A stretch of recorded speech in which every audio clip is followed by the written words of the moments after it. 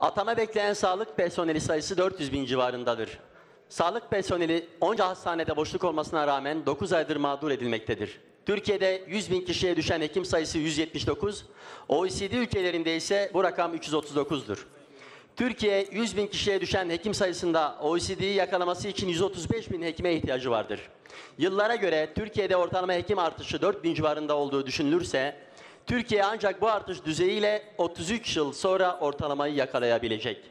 Buradan hem iktidar milletvekillerinden hem de Sağlık Bakanlığı'ndan bu keşmekeşe son vermelerini ve bir an önce atama bekleyen sağlık personellerinin seslerine kulak vermelerini talep ediyorum. Teşekkür ediyorum.